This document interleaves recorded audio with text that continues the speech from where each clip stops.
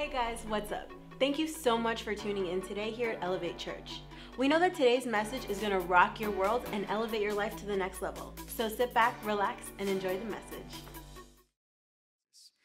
I want to talk to you tonight about I mean we we we do we do a service called Ignite. And I want to speak to every single heart that is sitting in here because life will do a number on you in various ways. It will cause havoc in your heart when you lose people you love. Well, we didn't lose them, we know where they're at, but it hurts. Uh, we go through challenges in life, in business, in, in our workplace, uh, family. And, and it's easy to grow weary while well doing. And, and though you're a good Christian and you go to church and you worship God and we have a shout and a praise, you know, we're still human. And you go through things in life that, that really, they just come to, to steal your peace and your joy. And so I want to talk tonight about how do you, how do you overcome and, and how do you keep the, the, the momentum of your spiritual walk with God? How do you stay fresh? How do you stay uh, vibrant and alive when, when things don't seem to be going the way you, you want them to go? When, when life is, is constantly beating you up? What do you do? How do you handle that? Um, it's, it's almost like, like God he keeps speaking to the church. There's this wave of blessing, but it's almost like we believe more in the struggle than we believe in the one who overcomes all the struggles for us. And, and so I pray that tonight that I can just shake us up just a little bit and that we can walk out of here tonight just waking up a little bit more and saying, man, I got to shake some stuff off my life. I got to shake off whatever attitude, whatever funk I have on me right now. Because let me tell you something uh, God says, I want you to be a sweet smelling aroma in my presence. And uh, you know what? There's no room for stench. Yeah? And sometimes life is a stench. But that doesn't mean that we have to stay there forever. You may go through the stench, but you're not going to live there. You're not going to camp there. And so, what do we do? I want to start with a verse in Joel chapter 2. Joel chapter 2. And I want you all to just get in your word with me tonight. And uh, hey, worship team, do me a favor. Would y'all just come sit over here for me on the right side? Because I need to see your beautiful faces. Thank you guys so much. There's all this rows over here to the right side. Joel chapter 2. Are you guys there? Joel chapter 2. In verse 28 through 30, I want to show you something because I know that we've all read this verse, but I want to I want to open your horizon just a little bit more tonight. It says this Everybody say, after that. After that, after what? After so many things. If you read the, the, the, the, the previous verses, God starts talking about how He's going to scatter everybody for the sake of you. I mean, he, and then after that, he still wants more for you. It's amazing how he wants to get your victory. He is your victory. He wants to be your breakthrough. He is your breakthrough. And he begins to talk about all these things that he's going to do to the enemy who's been messing with you. And he says, and after all that, now here's what I'm going to do for you. It's like, you've already done enough, God. You're awesome. We sang the song, I want more. I want more. Uh, it's so funny how we sing it, but then we don't want more. The Holy Spirit is more. He's more. And you know what? Once you get the Holy Spirit, there's more. There's more. Why do we get so stuffy? Because we stop hungering for more. Why do we get so weird? Because we stop hungering for more. We become so earthly minded that we become spiritually no good. You can become so earthly minded, so life oriented, so so comfortable and casual that we coexist with the issues of life with the drama of life and we just kind of we just kind of throw our hands up like well that's it is what it is no it doesn't have to be that way and so here it says and after that i will everybody say i will look at that god says i'm, I'm going to do it guys i will pour out my spirit My spirit. So God has the right spirit. God has a righteous spirit. He says, I'm going to pour out my spirit. God wants us to be under the influence of His Spirit. So He says, I'm going to pour out. I want more. Okay, fine. I'll pour them out. So pour it out. Okay, fine. He says, I'll pour it out. He says, I will pour out my spirit on some people. I'm sorry, good looking people. Shh, thank you. All people. Thank you. Thank you so much, Aaron. I'll make sure not to mess that one up again. And it says, and your sons and daughters will what? Prophesy. Why does he say prophesy? You know why? Because the greatest prophet of your life is going to be you. The Holy Spirit is in you. He says, and you will prophesy. That means that we have the power to prophesy over our circumstance. Listen to me. We have the power and authority. Everybody say authority. authority. We have the power and authority to prophesy. Come on, what does prophesy mean? It means that you begin to speak not just words, you speak powerful words into your future. You can do that. He says, the reason that you can prophesy is because of my spirit. My spirit brings dead people to life. My spirit brings dead dreams to life. Come on, you can have a vision, but a vision without God's breath is dead. You need the breath of God right now. In whatever circumstance you're in, you need His breath.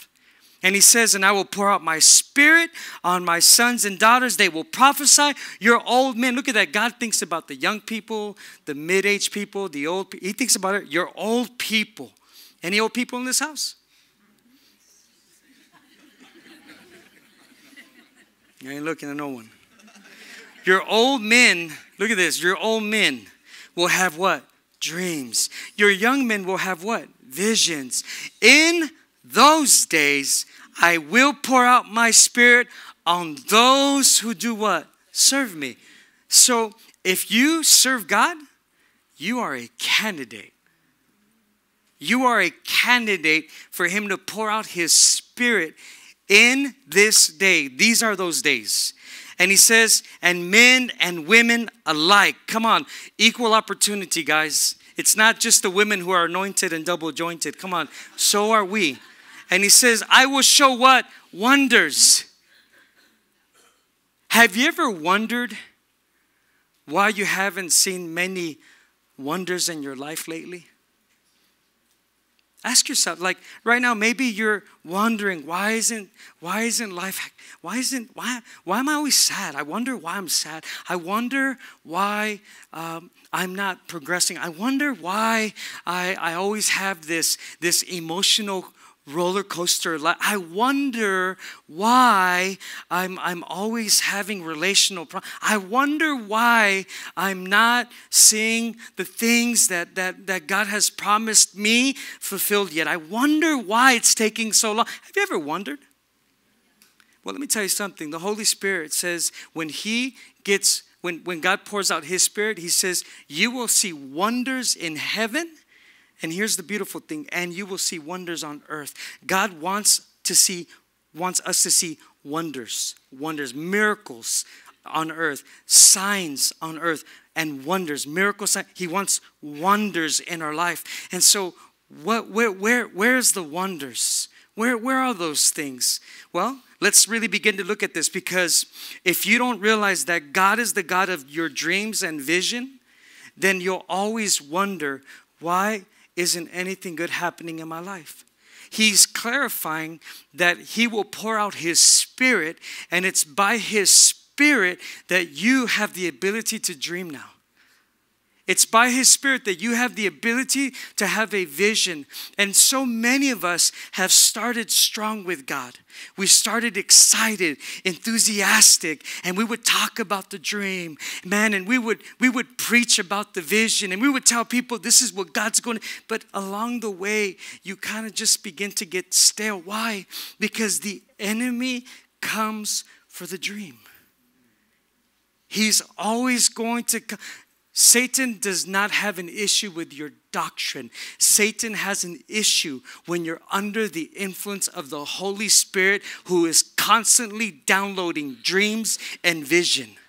He can care less about how much scripture you have memorized. He can care less of how many Bible classes you have taken. He is not threatened by your doctrine. He's threatened when you are influenced and when the Holy Spirit is alive on the inside of you because he knows if the Spirit of God is in you, there will be less funkiness on your life because the Spirit of God is the only one who can bring dead things back to life, including your spirit man.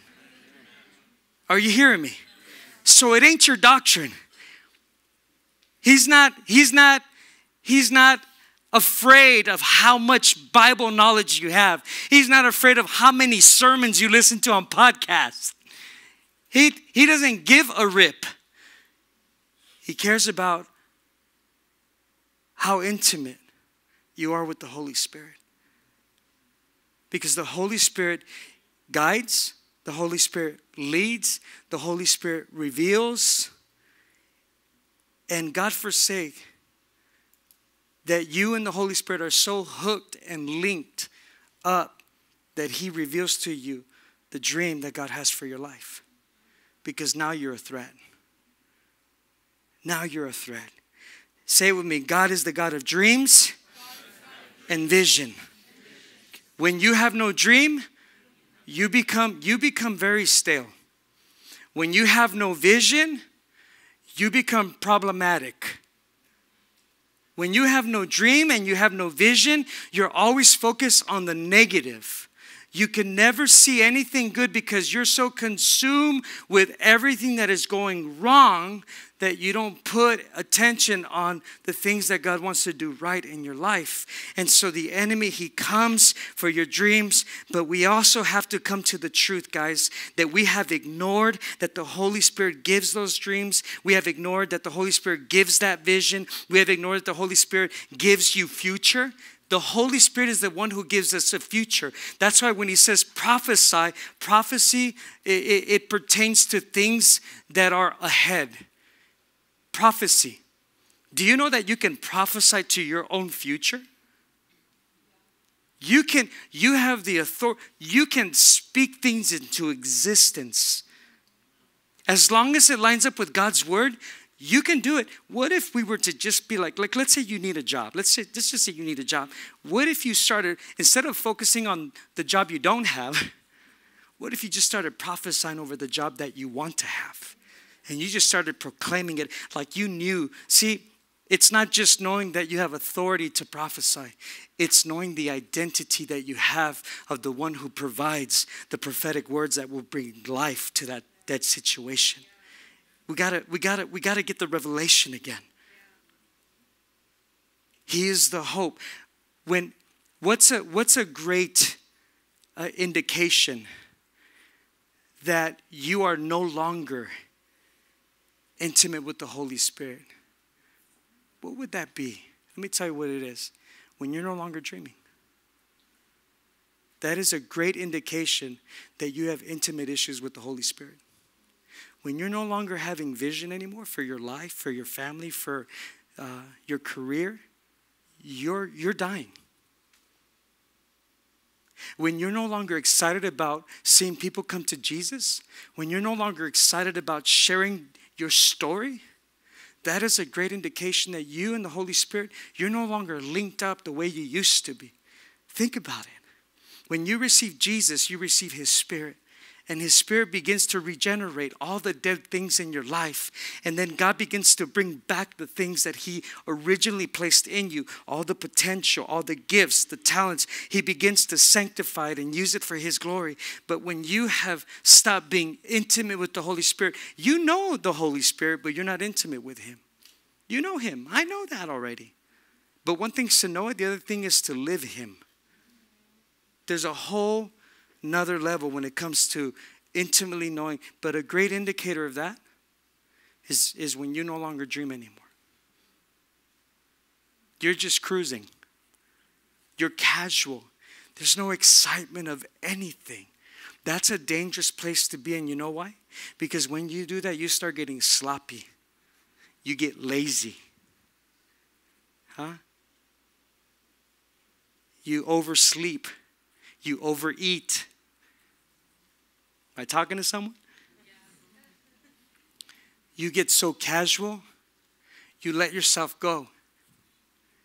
You do. You let yourself go in every possible way you can think of. You let yourself go in, in, in your excellence. You let yourself go in, in your pride, in the sense of my pride in my God, who is, He's awesome. You, you let go of things that you once uh, held dear as value like the value of your faith, the value of passion, the value of seeing things that you've been believing for. Remember when you used to believe God for that, that you, you had a one bedroom apartment and you're like, I'm gonna believe God for two bedrooms. Glory to Jesus. Yay. And you and then God did it and you're like, oh my God, we're in two and, and you got so comfortable that now you don't even believe for any bedrooms. Why? Because you're too busy sleeping in it. Huh? You're believing God, God, I want to own my own property. You believe God for a condo, a, a townhome. You get in and you're like, yes, next is the house. But then life came in and now you have no vision even for a house. Now I know those are practical things. Those are those are physical tangibles. But I'm talking about what is the dream? What is the dream of God for your life? What is that dream? Because the only way to get the dream is only through God. Think about it. Elevate Kids Global began with walking in Oaxaca, Mexico. And then God said to me, by the Spirit, build me a school. It's like, what? Say what? Why? Because when you're intimate with the Holy Spirit, He has access to your ears when you're not intimate with the Holy Spirit, you no longer listen to anything the Holy Spirit wants to do in your life or through your life. We're so consumed with, I don't have this, I don't have that, I'm not this, I'm not that. You, you're so, you're trying to get an identity in Christ, but you can't get one when you're so focused on who you're not. And so the Holy Spirit is trying. So, so this is pretty cool too, guys. Check this out. I should have brought. I forgot to give it to media. This sucks. But anyways, so so we're in Oaxaca. God says, "Build me a school." Man, that would ever say dream. dream. That was God's dream. Now listen, even though that was God's dream, man, I am satisfied in His dream. I'm enjoying His dream, and of course, I can't open this, of course, right when I want to show you something. Mm-hmm. Hold on for a second. I'm gonna do this. Come on, open up, open up. Okay, yeah. Okay, what's going on? Verifying, sorry, it's just taking forever, this social media stuff. Okay, what the heck is this now? What in the world? Yeah, man, I'm with you. Gloria Dios, always a problem here. I love technology, but man, I tell you, it tests me. Don't pray for patience. your number? Yes, it's correct. Yes, that's my number. Yes. Course, every time I want to do something, just as well, praise God. Okay, I need to prophesy victory now. But but check this out. This last week, uh, we got four more children, four more, four more kids, which is awesome. I'll show you the pictures on Sunday.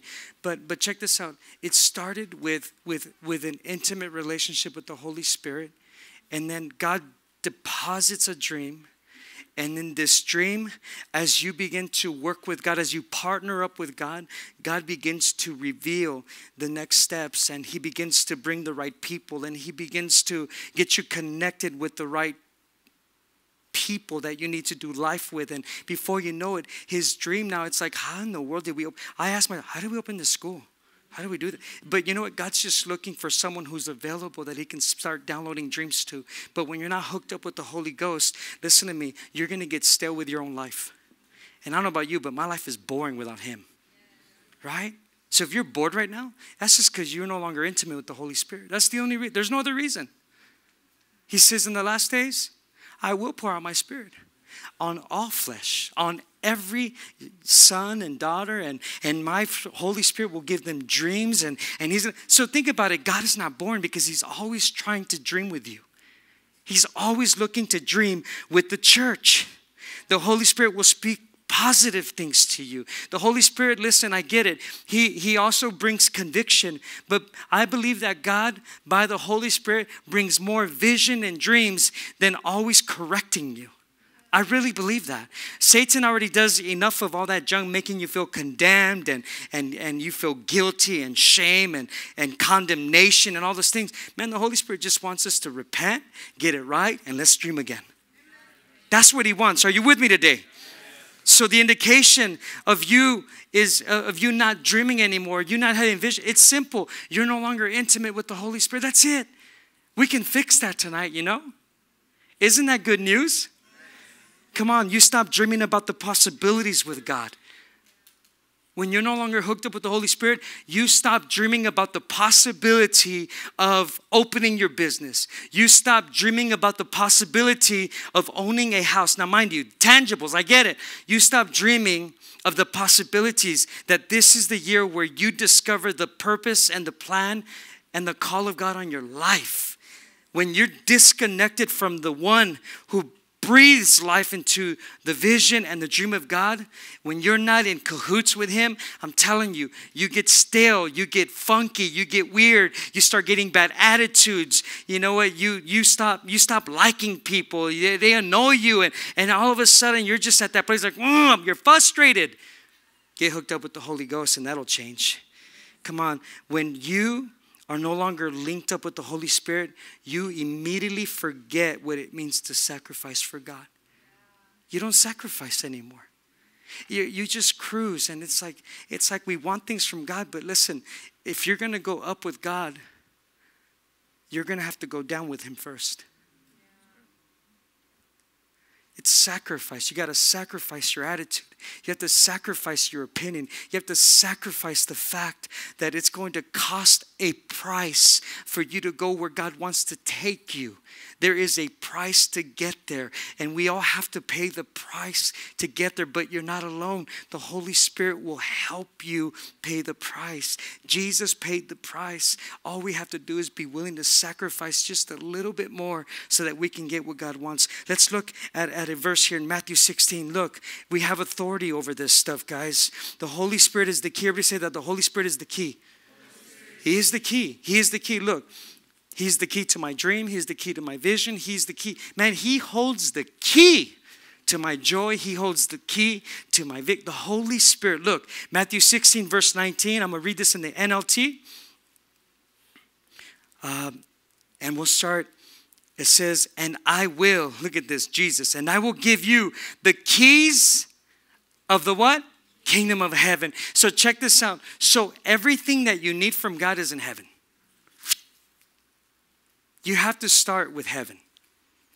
He says, the keys of the kingdom of heaven. He says, whatever you what? Forbid on this earth will be forbidden in heaven. Wow, that's some pretty serious authority, man.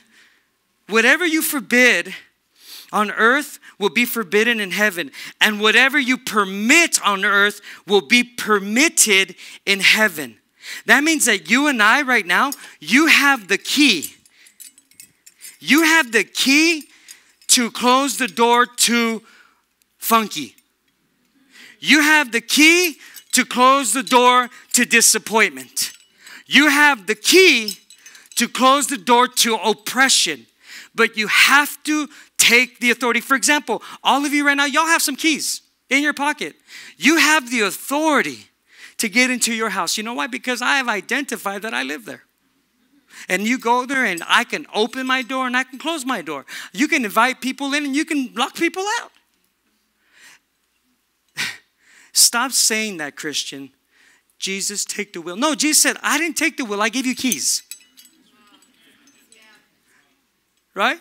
Oh, just I'm just gonna sit in the back seat. You, Jesus, take the. And he's like, No, I gave you keys. I gave you authority to start the engine, and I gave you identity to know that you have the authority and the power to enter into heaven and begin to withdraw your heavenly account and begin to experience the promises that I have created for you. You have the key to dream again. You have the key to envision again the things that God has for you.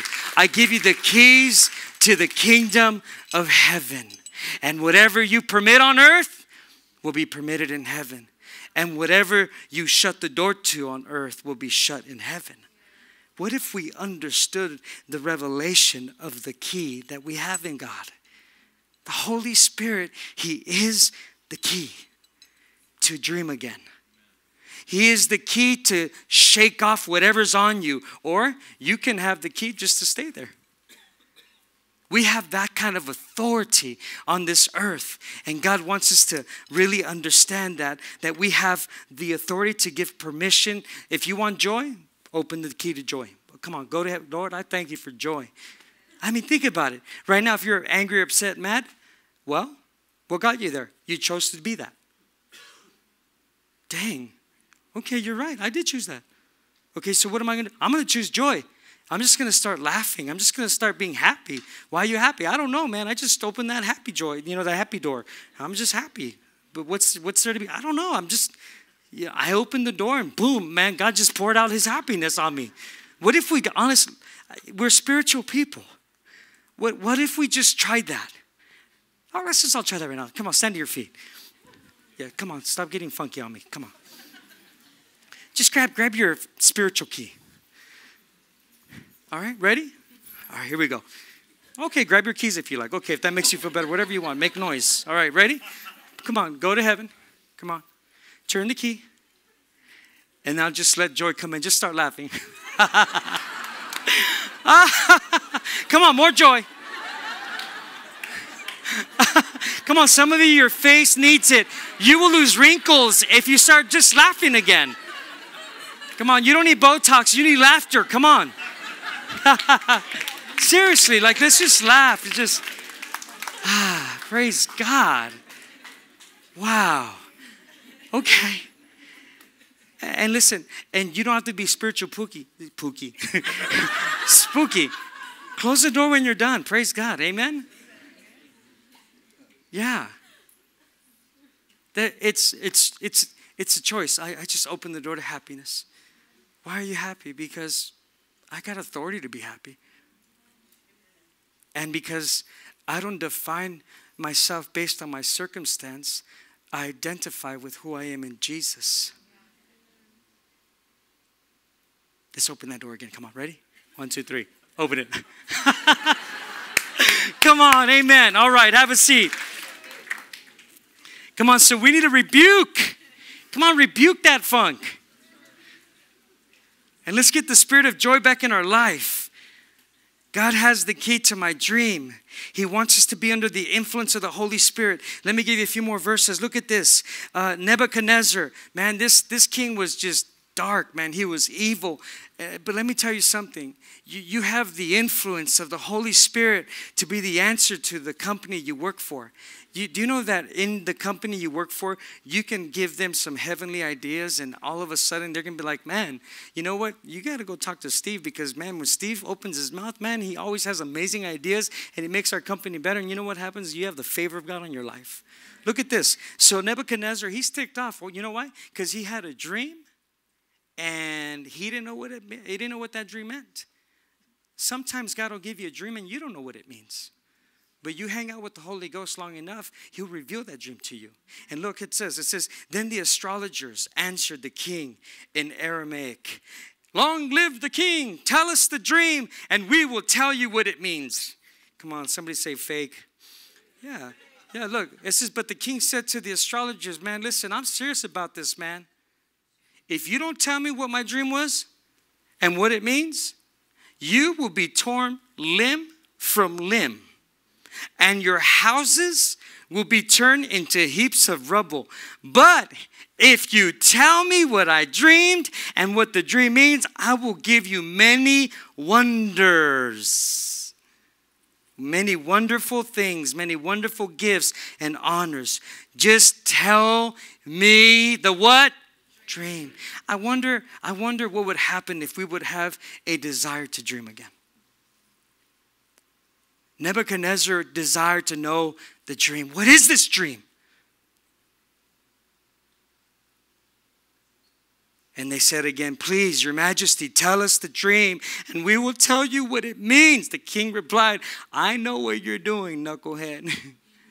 you're stalling for time because you know I'm a serious when I say, if you don't tell me the dream, you are doomed, my friend. So you have conspired to tell me lies, hoping I will change my mind.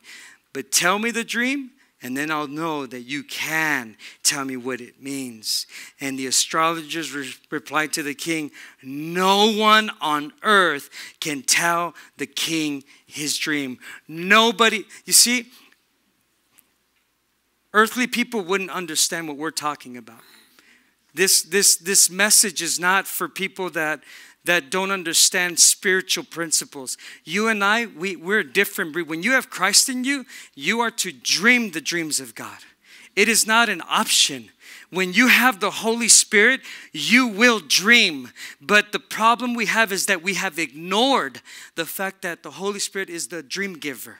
He is the vision, the Holy Spirit. And so here we think that the astrologers have it all together. They said, man, there's not one person on this earth that can tell you that. Jim, are you crazy? But how many know that God had a man by the name of Daniel? And Daniel was filled with the Holy Spirit. In Old Testament times, God would fill his, his people with the Holy Spirit temporarily for an event, a project, a task. You and I, Jesus gave us the Holy Spirit to roll with us 24 7. And look what happens. In Daniel chapter 2, verse 17 through 19, let's look what happened. It says, Then Daniel returned to his house because he heard about what happened when Nebuchadnezzar, they called Daniel. Daniel meets with Nebuchadnezzar. Nebuchadnezzar tells Daniel, Hey, I hear that you can interpret dreams, man. He's like, Yeah, I can. Identity, yeah, I, I, yeah, we can. Authority, yeah, I got the keys to interpret your dream. And so he says, okay, go. And uh, Danny just said, just give me a moment. I'm going to go pray to my God. Ever say, pray to my God? He says, I'm going to go pray to my God to give me the interpretation of your dream. And he said, okay, go ahead, go and come back and tell me the dream. So he goes to the house and he hangs out with his homies. That's why it's important to hang out with the right people. Okay? He goes out and he hangs out with Meshach, Shadrach, and Abednego. And he says, and he goes to his house and he explained everything to his friends, Meshach, Shadrach, and Abednego. And he asked them to pray. Everybody say, they asked them to pray. Come on, we need to pray again, guys, that the God of heaven, the God of who? Heaven. Would give him what? Mercy. And he wanted God to help him understand the mystery. But say mystery. mystery. Come on, do you know that God has the mystery for your life? But are you hungry to, to seek out the mystery that he has for you? Or are we just too lazy now? We just want God to drop everything on our lap. No. God, God, God wants to reveal his mysteries. And he says, and then that uh, uh, he wanted to, okay, where am I at? Mercy, he wanted God to help him understand the mystery of the king's dream. Then he and his friends wouldn't be killed along with Babylon's other wise men. And during that night, God gave Daniel a vision. And he showed him what the mystery was all about. God wants to reveal his dream and his vision concerning your life. It is crucial. God wants to give you dreams. God wants to give you vision. And he said, and he showed him what the mystery was all about. Then Daniel praised the God of heaven. Come on, there's something awesome when you can get the dream of your life revealed and now there's a shout. You know now every time we get a kid there's a praise and there's a shout that we bring to heaven. Say thank you father for four more kids that get their life changed and they will now begin to dream for their future. Amen? That's what god wants. So you need to know the dream of your life. Okay let's close it up. Three things that come to steal your dream. Are you ready? Number one write these down. Number one temporary circumstances. Ever say temporary Everything you go through is temporary. Okay? This is what comes to steal your dream a temporary circumstance. Do you know that every circumstance has a shelf life? Aren't you glad? Every every circumstance you're experiencing right now has an expiration date. You just don't know it, but the Holy Spirit can reveal that to you. You can be so consumed with the circumstance, or you can be so consumed with the God who can handle your circumstance. And so don't let the present define your future, guys. Don't be the person that says, oh my God, it's never going to change. No, listen, it's just temporary. Relax chillax. It's all going to work out for good because you love God, right? So don't let the present define your future. Don't let the present dictate your future, guys. Everybody goes through a temporary circumstance Everybody, nobody gets away from a temporary circumstance. Nobody. We all go through it. But I tell you this, but the circumstance won't kill the dream of God. It won't kill the dream of God. Jesus, remember this Jesus didn't buy a tomb, he borrowed one. Amen? He didn't go out there looking for, let me go and praise God, I'm gonna die, so I'm gonna go ahead and buy some real estate and just die in there. No, he just said, hey, can I borrow your tomb? Because I'm not gonna need it. It's temporary, man. Because on the third day, I'm coming back up. Huh? So stop buying a tomb and just borrow it for a minute. Get in your cave, cry, whine, do whatever you like to do. But on the third day, get up, please. It ain't cute. Right? Number two. Number two. What comes to steal your dream? Divine delays. When dreams are just taking way too long. Right? Have you ever had those like you're just like, man, God, God promised me that by this time, by that age, right? By that moonlight, whatever it is, I don't know. But but there's these divine delays. But remember this. You have to you, just just think this. Study the process of the cocoon. If you study the process of the cocoon, what happens to that caterpillar? It has to struggle first. Why? Because the struggle is what forms you. The struggle is what prepares you. The struggle is, is, is so real, but in reality, the struggle right now is preparing you for the thing that you're believing God for. You're, you're probably just not ready. It's a divine delay. Why? Because God's saying, man, if I gave it to you sooner, you'd mess it up. So I'm going to let you struggle a little bit because as you struggle, you're going to begin to form your wings so that you can fly and be a butterfly. God wants us to completely be transformed before we can get to that place of what he wants to do and that's that's god. Number three everybody say false evidence. False evidence, evidence will come to steal your dream. What do i mean by that? Well the devil doesn't hate your doctrine once again right? He doesn't. He hates the fact that you're under the influence. Think about this. Do you guys remember joseph the dreamer?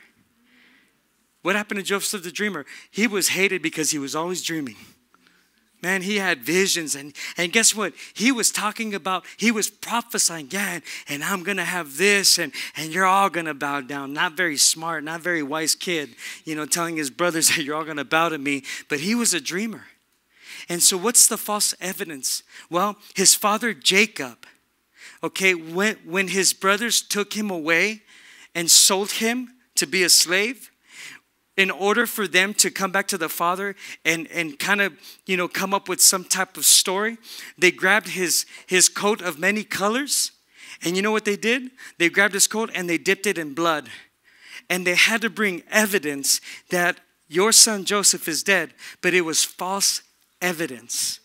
Be very careful because the enemy will always bring you false evidence that you're not coming out.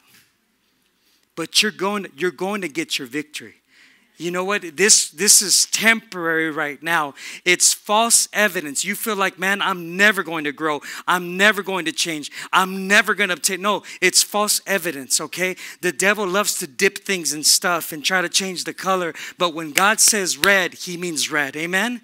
You're covered by the blood of jesus. God doesn't change his mind about the dreams and the visions that he's giving you. What god said is what god's going to do and that is his final word. Amen? Can we give jesus a big hand clap, amen.